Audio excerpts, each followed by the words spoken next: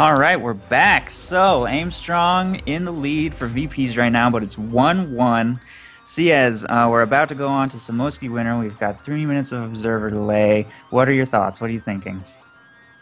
Thinking that the Centaur on a map full of buildings is going to be pretty good. I think Brits in general true. now That's getting these true. garrisons in mid. What do you think? Uh, do you think Aimstrong might maybe throw a minesweeper up there with the Centaur this time instead of just driving right over a teller mine and then pretty much I would I think I would argue that driving over that mine lost him the game. Do you think that that's a pretty accurate assessment?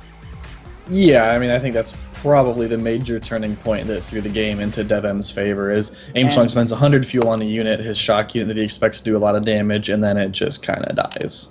He actually looked like maybe he was gonna come back a little bit with some impressive commando ambushes, finding those snipers at point blank range, but he couldn't make it happen. So I think that Centaur was a little too important. We're probably gonna see him using it again here on Semoisky Winter. What, what, what about DevM? What do you think his? What do you think he's thinking about going into this game? Ah, I think it's going to be quite a hard map for Ostheer against Brits. I think it's going to be pretty important for him to get maybe two Flamer Pyos out, although then he's going to be lacking a sweeper. The 222 is pretty strong on this map, uh, as is the 251 half track. I don't think we've seen DevM using a 251, uh, not recently, anyways. But with such a long retreat path, it's you know very valuable to be able to reinforce on the field. It looks like DevM has two go-to builds against Brits. He likes to go double sniper, and he also sometimes likes to go double scout car. And I guess it depends on how confident he feels in his sniper versus sniper counter snipe game. So, what do you what do you think he's gonna be thinking against Aimstrong here? Do you think that he's gonna try and just go all in on snipers like he did there in game one, which it kind of worked, but then commandos screwed him over a little bit later? Do you think maybe he's just gonna go with light vehicles on this map? I think on this map, the light vehicles would make a lot of sense. It's very hard for AT guns to cover all of the possible approaches into the center of the map where the snipers are likely going to be.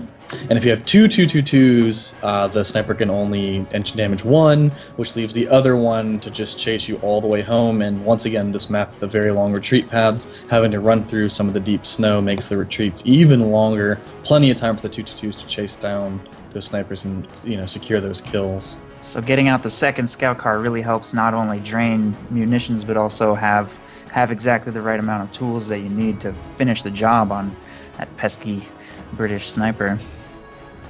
I mean, he could just play snipers of his own. There's so much green cover on the middle of this map that they could just come down to, you know, maybe he wants to say, hey, uh, I counter sniped you a whole bunch in the first game, and I've, you know, maybe I'm the better counter sniper, and let me just put my trust in that and see what happens.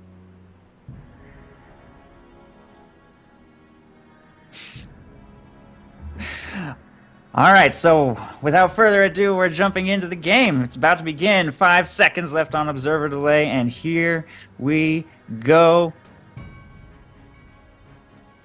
In game. We're going to pause at five, and then we'll count it off. So pause, and we're going to start in three, two, one. Unpause. And Emmy behind the scenes, whispering in my ear, absolutely 100% insists that we do the introduction. So, without further ado, on the left of Semoisky Winter in the blue trunks, it's Aimstrong. I thought I'm, I'm here. okay, Ciez didn't want to meet me halfway on this. but Oh, I thought Ami that- was talking about how he's okay. going to do All right, He'll bring it. He'll bring it for the second player. All Over right, here on it. the right side, in the red, he has fought his way back out of the losers bracket. It's 1-1. It's dead even. He's here to beat Aimstrong. Dev M! Yay! See us with the hype. All right, we both we both brought it that time. All right, so Ciez, talk to me about uh, about builds and capping orders. All right, so. Yeah, so DevM looks like he's going for his kind of very, very typical build. Opens with a grind on MG, and he's probably going to be setting up for a sniper if Billy chooses to go. Aimstrong opening his exact same Brit build. So far, two infantry sections probably going to pick up a Vickers. I actually got a nice little fun fact to share with everybody during the boring, or sorry, I almost said during the boring game, during the early game. And actually, DevM, you know, going with what I'm saying and uh, the opposite of what I was saying. He's actually picking the Gren squad. So DevM and Aimstrong, I guess, haven't really practiced against each other in CoH2, and they tend to avoid each other in auto match so as not to, I guess, you know, hurt each other's ranks and whatnot. So they're even in these tournament games, they're feeling each other out a little bit of how exactly they like to play in NCO 2. So, you really don't think that they scrim against each other in custom games behind the scenes? I mean, they're clan mates. You'd think, you'd think that they would, right? Uh, that's what AE was telling me during our break. Is that well, I guess when he talked to Aimstrong, he said they don't really practice against each other. Now they could be just playing some mind games and be like, "Oh yeah, we practice against each other all the time, but we want to make people think we don't." Uh, you never. Know. I guess I guess we cannot really know for sure exactly what what's going on there unless you're monitoring the custom game list in CoH2 at all times. Even then, you could set it to where you know no observers are allowed. So Aimstrong going with a very quick sniper. He made nothing except for one infantry section, then platoon command, then sniper. So his capping order, he went straight for the, um, you can see two strategic points, then immediately for the fuel to get the fuel together for platoon command. He's going to get that sniper out surprisingly early, and DevM is going to get his sniper out surprisingly late. He actually waited a couple squads to make his. So now the British player is going to have a sniper on the field before the Ostheer player. That's kind of an interesting turn of events. It's a little bit of backwards of what we would normally be used to seeing because, you know, Oscar doesn't have to tech it all to grab a but There's going to be a race, a foot race for the house in the mid, the church, and DevM's MG makes it. And I think that's a good time to point out that uh, just a couple patches ago, I'm not sure if that MG would have won that race because the deep snow now has been pretty much completely removed. There's still a little bit of it sprinkled in just a couple random spots, but no longer outside the doors of the houses, no longer in these green cover positions in the central um, village or cemetery or anything. So the map plays very differently now. It's so much more fluid but it looks like that machine gun might not get away. Taking, there it is, sniped by the infantry section in the house. That is the second time that's happened. The exact same thing happened in game one. DevM just throws a machine gun into an aggressive house location, and then infantry section snipe it to death on the retreat. But fortunately, DevM does manage to recover it there with his grenadiers, so he, he doesn't lose the unit this time slightly better outcome than there in game one, but he made the exact same error in judgment twice in a row. Yeah, it's a little bit unfortunate for DevM that doesn't get to pick it back up with Pyos, we were mentioning on one of our earlier casts. If you can recruit the Pyos, you retain their line of sight bonus, and they're much cheaper to reinforce than Grenadiers. And DevM has his own sniper out about to take first shot, so he's going to reveal to Aimstrong that, hey, we're going for this, you know, mano a mano sniper battle time. That's right. Meanwhile, his sniper up there taking back control of the fuel cutoff. Aimstrong doesn't have a whole lot of map control right now, but he is going to do his best to limit DevM's fuel income. He's going to decap the fuel point there in the south before revealing himself to the Ostheer sniper. I wonder why he would do that. I guess yeah, he's. I wonder why didn't keep capping. I guess he just wants to go get was... the strategic point. Yeah. I guess there's no point for him to finish that cap because it's not connected to his territory anyway, and it's not likely to be connected to his territory anytime soon. And he might have been scared of that MG in the other house uh, overlooking the fuel point. I think he could hide from it while capping, but better use of time to pick up those strategic points because they're going to give him income right away.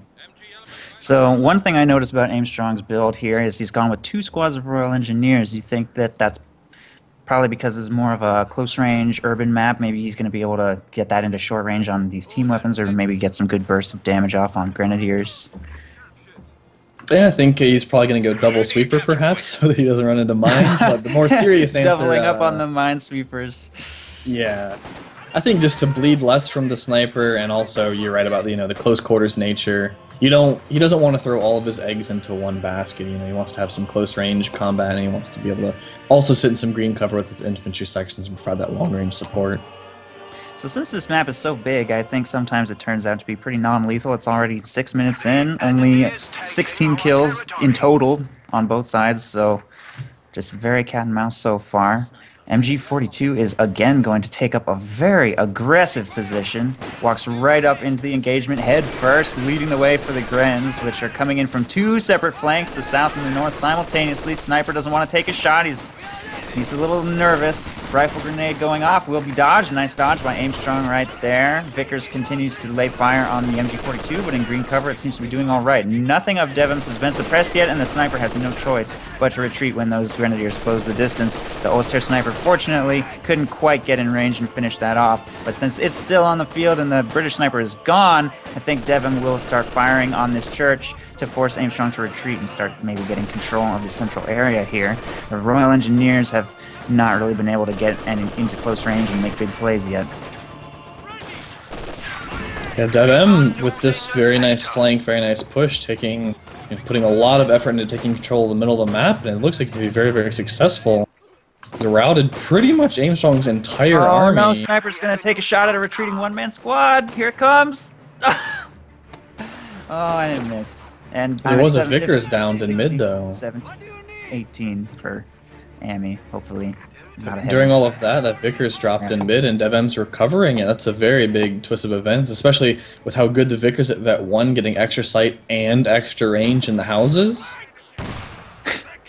and uh, unfortunately, the Vickers had to be removed from the qualifiers because of an issue with its Vet 1 bonus stacking infinitely so the Vickers could fire across the whole map, but even even without that bug present, that Vet 1 bonus on a Vickers is really crazy.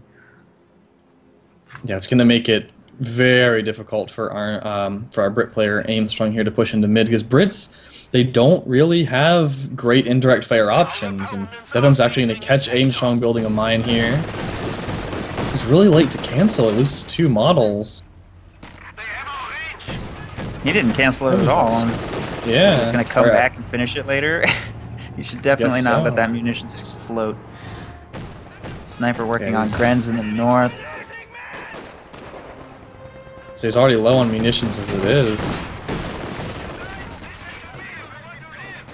Just DevM with, or sorry, yeah, DevM with just great fuel control this game. It's very hard for Ostheer to control both fuels on this map generally, but I guess the dynamic's a bit different against Brits because they're not as um, mobile early game as a lot of the other allied factions are with rifles and conscripts just swarming everywhere, capping everything.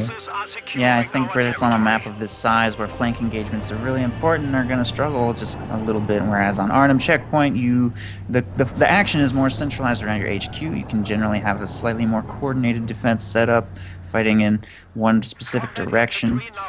I don't know. It's it's um it's turning out almost the same way as game two, though, really, with Ostheer taking a really uh, commanding lead early on. Of course, that in game two, he was against U.S. forces, not Brits, so it's a totally different dynamic. But DevM's going to go Lightning War, as he always does, locks that in.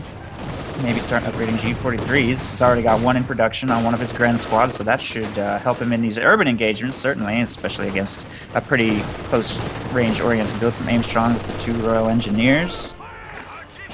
And it'll really help uh, keep his lead. Yep, it'll really help if you ever get to flank on the sniper as well. You have the tactical movement, which sprints all your squads, and the G43s are more accurate than I believe any other Ostheer weapon on the move. Sniper's making its way down towards the cemetery, trying to trying to line up a counter snipe on the uh, the Ostheer sniper, which will fire and backpedal around behind the hedge, playing safe with that since he doesn't know where his opponent's sniper is, and the scout car is also hovering in the general area, but can't expose itself to the six pounder on the central road. Both of their snipers stop moving. Ostheer sniper sitting on the fuel out of cover. That's dangerous.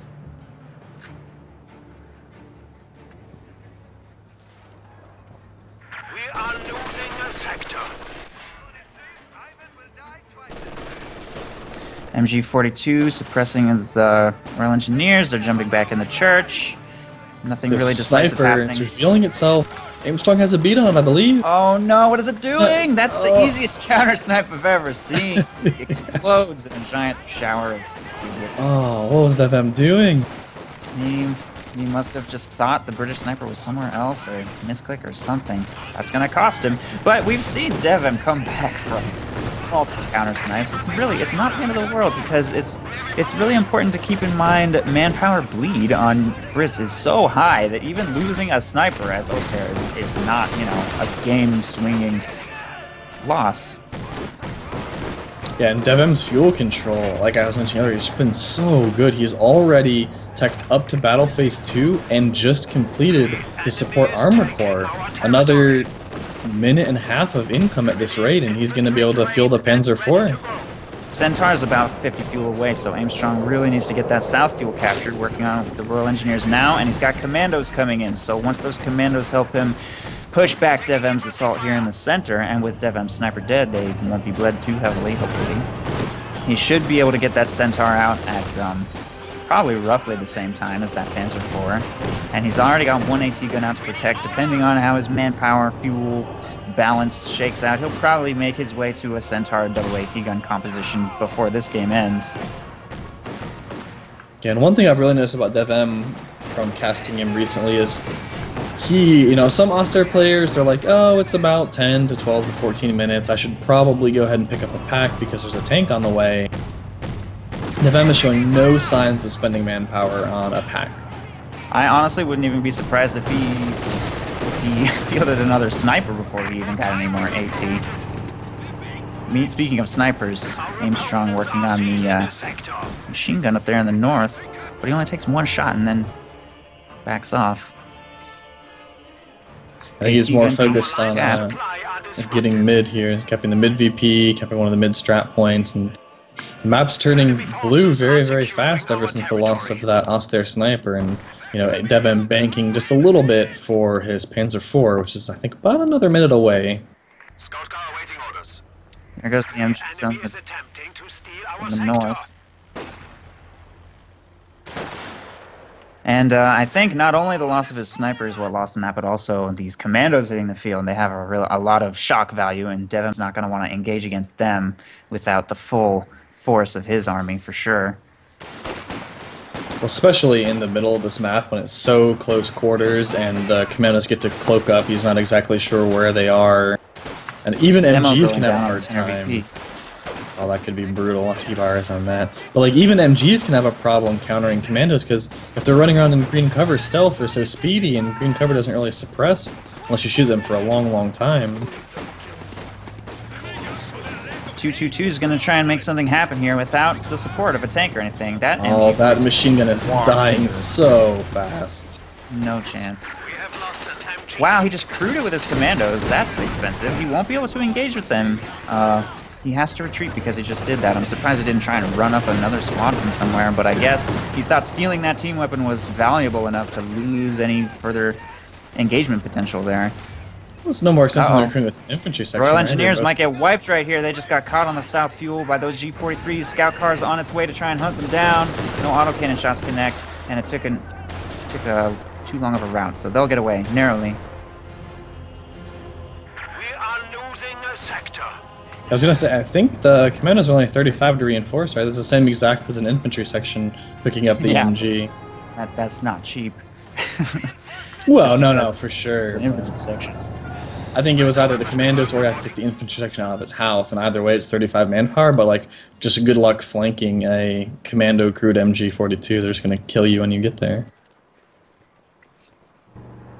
Centaur's in production. Meanwhile, the entire map has turned blue. Aimstrong really taking control now that he now that he has commandos out, and DevM hasn't got really much of a counter since he further snipers. P4 coming out now.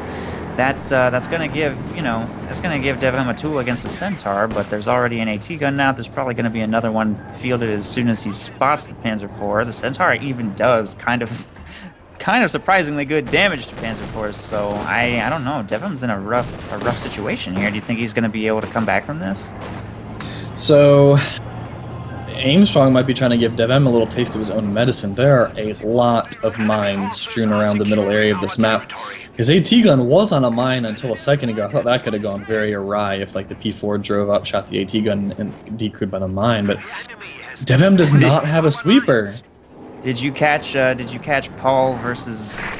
I don't remember who it was, but he swept a mine and then parked his Tiger on top of it anyway, and then uh, yeah. some random shot blew it up, damaged his engine, and then a bomb run came in and destroyed his tiger. So even friendly mines uh, pose a very serious threat sometimes.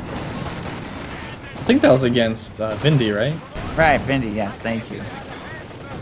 So this 222 is so close to that mine. How is he not hitting it yet? Centaur's right, making its presence known, I think. going into the center. The Panzer IV Bren's is gonna driving right that mine. miraculously. Whoa! What was that? Squad wipe. Squad wipe. One man. Yep, Bren ran right into the mine. Shooting over the mine gets wiped. Panzer IV miraculously doesn't hit that one on the road. The scout car also somehow manages to skirt past them all. This center area is littered with mines. But DevM isn't punished too horribly, although losing a grenadier squad isn't something he can afford right now. G4 got a lucky break there as he killed a mine near the commandos rather than running over it. But yeah, I mean, DevM has lost a lot. He's down to two Grens, finally calling in his AT gun, and we've seen what Centaurs can do to AT guns, and it's not Yeah. not pretty. Panzer IV absolutely has to destroy the Centaur. It's the only thing DevM has that can handle that unit. And it's at half health, so it's not really in a great position to be doing that. G43s take control of the cutoff house. They've beaten infantry section there, doing excellent damage, but obviously with the Centaur the way it is right now, cannot stick around in buildings for more than even one burst without just getting annihilated. The Centaur's wow, probably going to catch this 222 on the ice and kill it. Now, Aimstrong needs to not go on the ice, though, because that pack could sink it. Alright, he's very wise pulling it back. Yeah, this is kind of the issue that I uh, mentioned earlier, where if Aimstrong gets a hold on the middle of this map, especially with DevM playing from the north, it's going to be very, very difficult for him to be able to push into the center of the map, and he has a long way to go if he wants to go for the northern portion.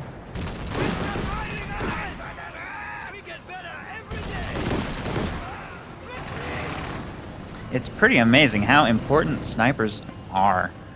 I mean, DevM was winning this game and then lost his sniper, and everything fell apart from there. The, the game swung completely around in Aimstrong's favor because of that one pivotal moment. And from then on, he then he dropped some commandos, then he pop, popped out a centaur, and just DevM can't seem to keep up. He's fielding himself a sniper now. I wonder if maybe he should have done that a long time ago.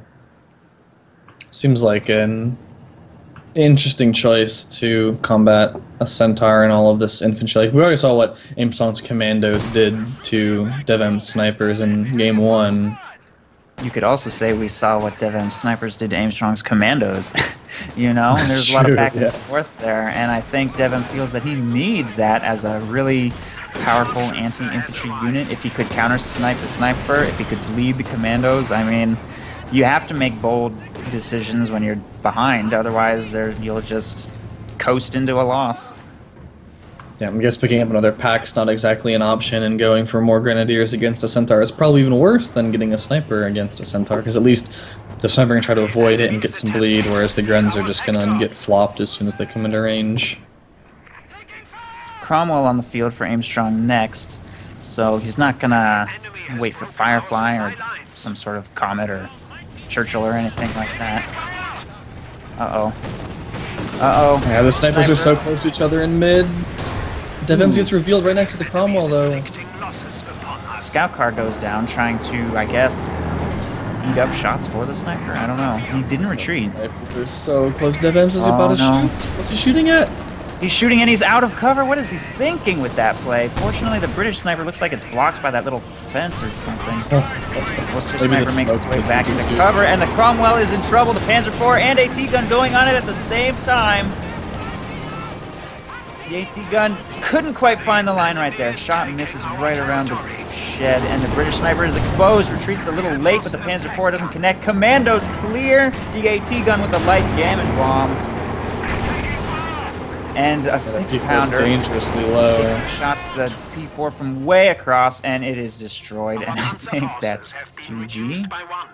That's it. I think DevM throws in the towel, losing the P4, losing the AT gun, and seeing you know, him up against a Centaur and the Cromwell and the entire map being not his color. Well, 20 minute victory there for Aimstrong. He wins with 321 VPs in the bank, so he is now way in the lead for victory points. He's going to have um, 821 to DevM's 192.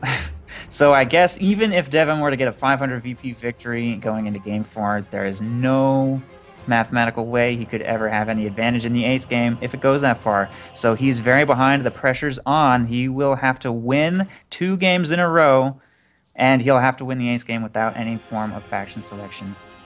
Yep. Also, uh, the chat's pointing out DevM accidentally built two tier twos, two light mechanized companies in his base rather than one and a tier three. So that's just a little bit of fuel down the drain, and I mean that amount of fuel that could be another That tank. is, you know, it's kind of funny, but I've actually seen that happen. I think Yeah. twice in other tournaments I've run. That's that's how high the tension is. That's how the pressure people Yeah, make that. he could have had a Stug. He could have had a Stug in that last engagement to help finish off the Cromwell. It's such a uh, oh, what was I thinking, kind of thing. But yeah, he doesn't have gonna feel kick bad for he's, that. he's not the first person to to do that, and he won't be the last. All right, so um, this series is starting to starting to get pretty heated. A lot of pressure on DevM. He's gonna have to he's gonna have to execute flawlessly from this point forward. Short break, and we're going going to uh, get into game four. Bye, everybody. We'll be right back.